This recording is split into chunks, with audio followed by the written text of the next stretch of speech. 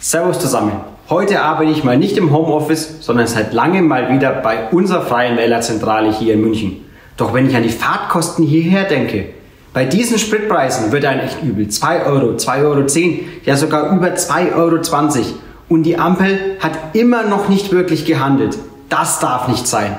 Wenn die Enkeltochter für ihre Großeltern zum Einkaufen fährt, wenn die alleinerziehende Mama ihr Kind im Winter zum Kindergarten fahren muss oder denkt an die Krankenschwester, die nachts vom Umland rein nach Nürnberg, Regensburg oder Würzburg pendelt, wenn kein Bus mehr fährt und dann in der Nachtschicht im Krankenhaus ihre Patienten zu versorgen, dann ist Autofahren kein Luxus, sondern eine Notwendigkeit. Der Bund muss jetzt schnellstmöglich handeln und für die Bürgerinnen und Bürger auf dem Land gute Lösungen finden. Wir Freie Wähler predigen es schon lange. Jetzt hat es Berlin endlich umgesetzt. Die Erhöhung der Pendlerpauschale. Gut so.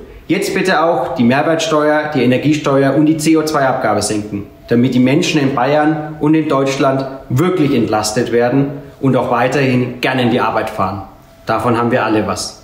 Macht's gut, bis bald, euer Felix.